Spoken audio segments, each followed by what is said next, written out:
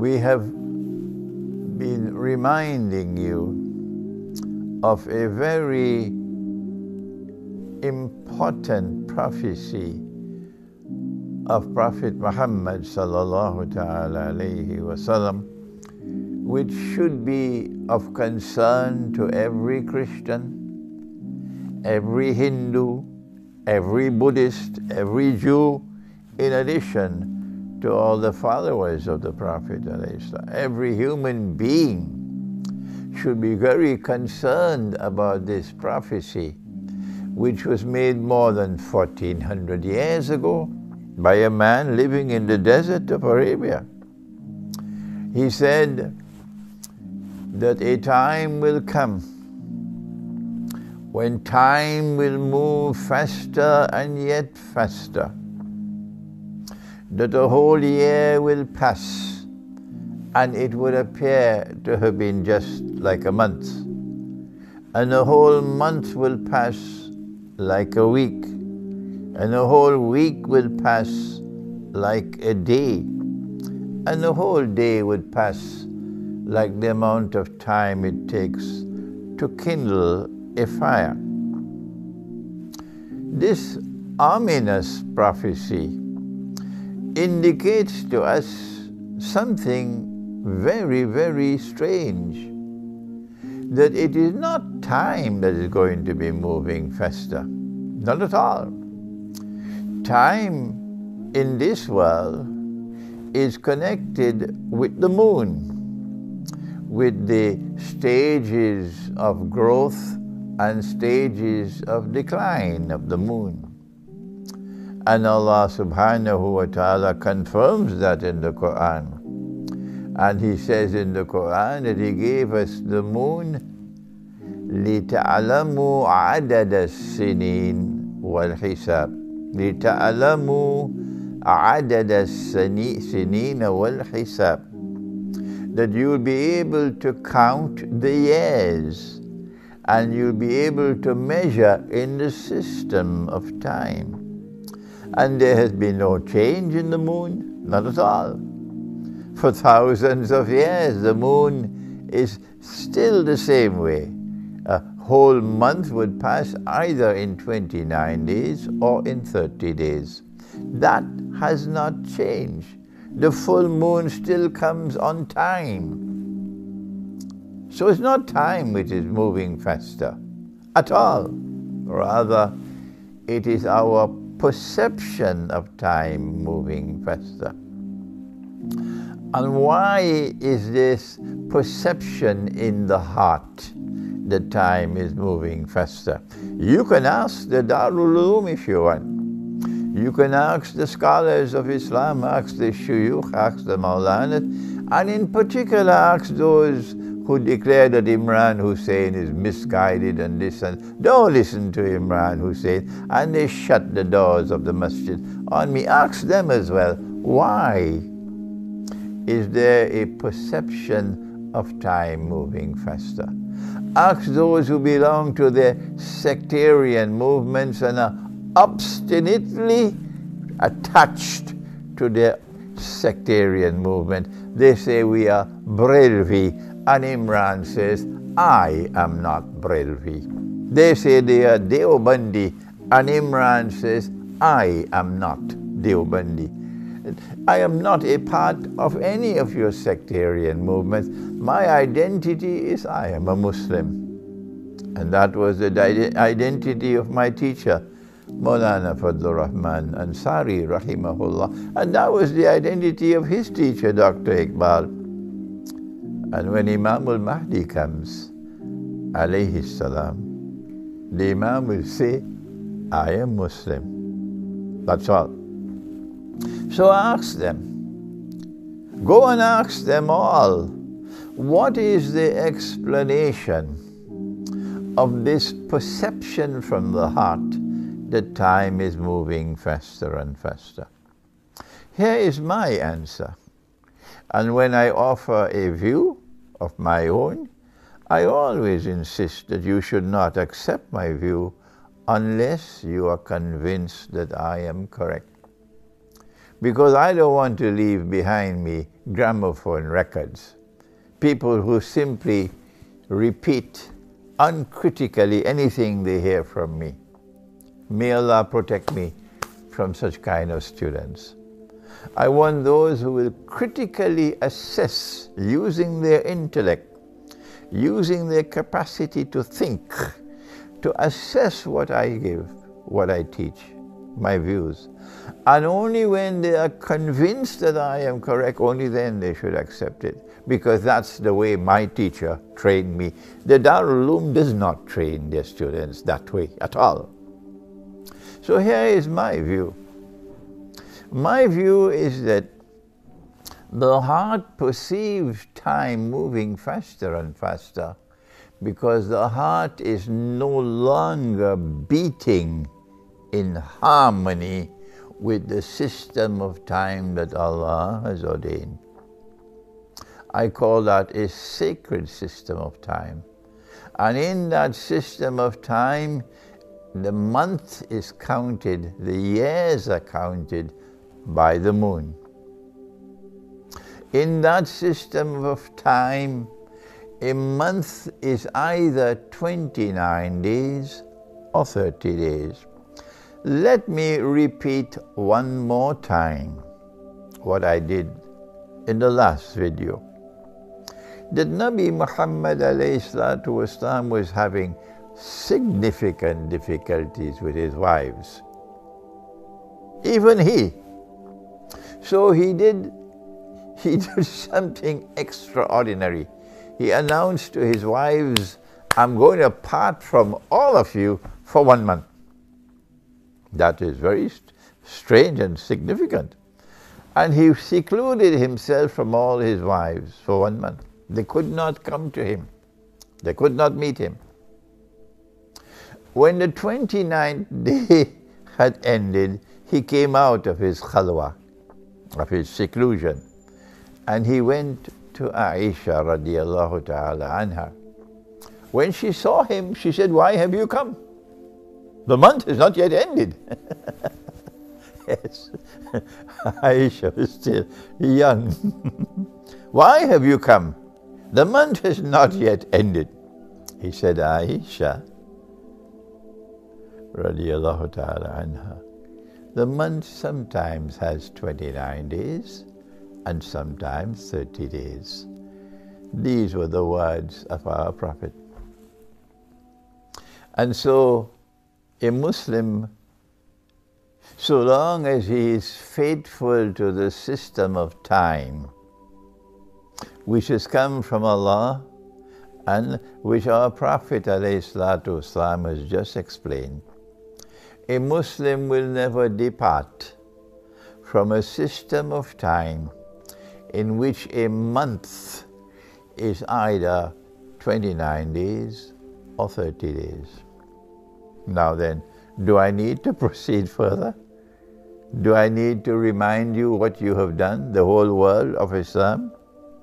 And there is not a single Darul Uloom anywhere in the world which is raising the standard of resisting this abandonment of the system of time which has come from Allah and yet they close the doors of the masjid on me shamelessly. It's time for me to speak out. And if my language is harsh now, it's because I have tried and tried and tried and tried and I have failed. They will not listen to me. So they will have to stand now and prepare themselves for the strong language which is coming from me. I'm just one man, just one voice. But if it is the voice of truth, it will shatter, by Allah's leave, all those who seek to rival the truth. But this is the truth. That the whole world, not just the world of Islam, the whole world has abandoned the system of time which has come from Allah. And the whole world has embraced a system of time which has come from modern Western civilization from Dajjal's modern Western civilization, in which we are now told a month can have 28 days. Amazing. And a man can have 29 or 30 days, and a man can, can also have 31 days. And we have all accepted this load of rubbish, and we are living with it comfortably. We eat our biryani and go home and sleep, while uncritically accepting a new system of time which has come from that civilization. More than that, yes, we are leaving Pakistan to go and live there. That's heaven. And this is hell. Who wants to live in Pakistan? This is hell. No, no, no. Los Angeles and Miami, that's heaven. That's the sheep and the cattle and the goats and the camels that we now have in the world who have said goodbye to the Quran. But not all of them. MashaAllah. There are Pakistanis now in Britain who are returning to Pakistan. And I am so happy with that. They are listening to me. And they will listen to these lectures in this Ramadan. And even more of them are going to say, we are packing up and we're going back home. And I say, come back to Pakistan. Come back to Pakistan and teach the people in Pakistan who are packing their suitcases to go abroad, to live abroad, because that is not heaven. That is hell. The Prophet said that Dajjal will come with two things. He'll come with a river and a fire. But his river is a fire, and his fire is the cool waters of a river. And so Dajjal will take the road to heaven and make it look like the road to hell. And Dajjal will take the road to hell and make it look like the road to heaven. And so now that we have understood that we have betrayed the truth, we have betrayed the Quran, we have betrayed the system of time that Allah has ordained for us. Because all of us have accepted this rubbish that has come from the Vatican, from a pope in the Vatican, that a day can have 28, a month can have 28 days. And all of us have accepted this load of rubbish which has come from the Vatican. I have Roman Catholic friends, and they're not going to be happy when they hear me speak like this. But you are my friends. I know your hearts are good people. So I have to teach you. Your Vatican has made a mistake. And you should not be offended when I point out a mistake which has been made, as I am not offended when you point out that I have made a mistake. All of us make mistakes. Iqbal says only stones don't make mistakes. that we have accepted a system of time which, in which a month can have 31 days. And this is my view that we are perceiving time moving faster and faster because we have departed from the system of time ordained by Allah and we are living with a system of time which has come from Dajjal. This is my view. And uh, my further view is that if you have this perception in your heart that time is moving faster and faster, Dajjal is taking you for a ride. And at the end of that ride, you will become a jasad, like he is a jasad. If you don't understand what I'm talking about, then please read my book, The Quran Dajjal, and the Jasad, because the word Jasad is in the Quran. It is an automaton. You are being transformed from a human being who has freedom inside of him, freedom to think, freedom to choose, a self directed will. And uh, you are being transformed now into another kind of human being that I describe as an automaton, meaning you no longer think for yourself, others think for you. You no longer choose for yourself, others choose for you. They have a lovely term for that in English. They call it brainwashing. and in French, they call it uh, lavage de cerveau. Hmm? Brainwashing. And that's where we are today. I don't know whether your Darul Uloom will agree with me, but it doesn't matter to me anymore what the Darul Uloom says. I have spoken long enough and they don't want to listen to me, so I'm moving forward. My language is harsh now. I'm close to 80 years of age by the sun and 82 by the moon. I have been teaching Islamic eschatology for 20, 25 years now, and they know it. But they reject me, and they close the doors of the masjid on me. And so I'm moving on. And my students are moving on. We don't want to become automatons. We do not want Dajjal to transform us into jasads. What should we do? This is where we ended on the last occasion. And on this occasion, we're reminding you that Allah will always have a door open for us of escape. Yes. And He says in the Quran, بَعْدَ أَعُوذُ بِاللَّهِ مِنَ الشَّيْطَانِ الرَّجِيمِ وَالَّذِينَ جَاهَدُوا فِينَا لنهدينهم سبلنا وإن الله لمع المحسنين and whosoever strives and struggles in our way meaning to be faithful to the truth we will open the door for them a door to success a door for escape and so, whether you are a Christian and you're listening to me, and many Christians are now listening to me, or you are a Jew and you're listening to me, and there are Jews who are listening to me and they write to me. Whether you are Hindu and you're listening to me, and, and there are Hindus in India who are listening to me and who are writing to me. And if you're a Buddhist as well, whatever you are, this is my message to you. That if you perceive time moving faster, you have to look for a solution to that problem.